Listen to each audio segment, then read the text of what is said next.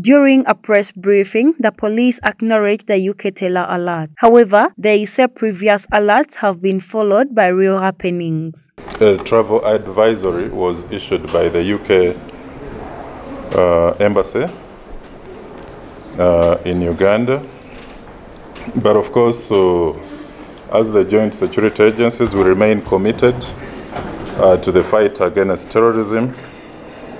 And although last week the UK Embassy in Uganda issued uh, an alert and advisory to citizens in Uganda and those planning to travel to Uganda, uh, we want to, uh, they went on to urge uh, those citizens uh, in Uganda to be vigilant at all times, especially in crowded areas and public places and uh, uh, from what was uh, uh going on on, uh, on uh, the digital and social media platforms, you could see that many Ugandans were expressing fear and others beginning to panic because from the previous experiences we've had, some of these terror alerts have been followed with the actual incidents of uh, terror attack. The police have assured the public that the resurgence of ADF in the country is significantly low. Now, despite these incidents, we want to assure the public that a resurgence of the ADF inside the country remains significantly very, very low.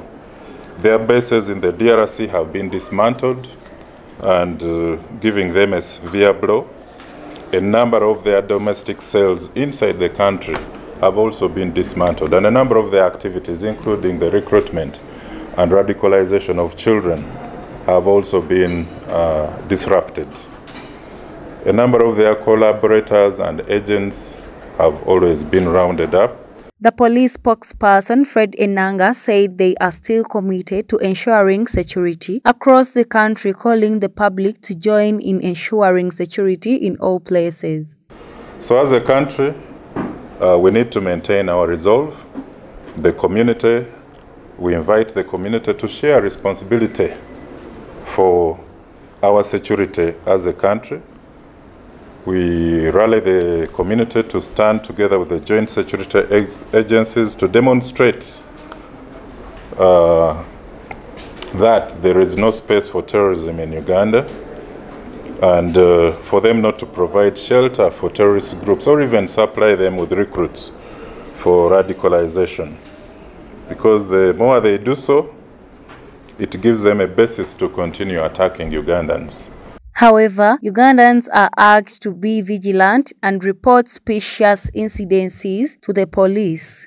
In light of the existing threat environment that continues to exist in the country, is to continue empowering the whole community to remain alert and maintain their safety and security uh, in, in those places where they live, at places of work, and even when they, where they go out for uh, social entertainment and even hanging out places.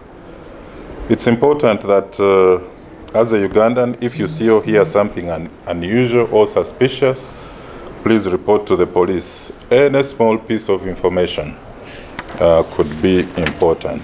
The terror alert by the United Kingdom is the second since November 2021. Anselm Ojaru, live at 8.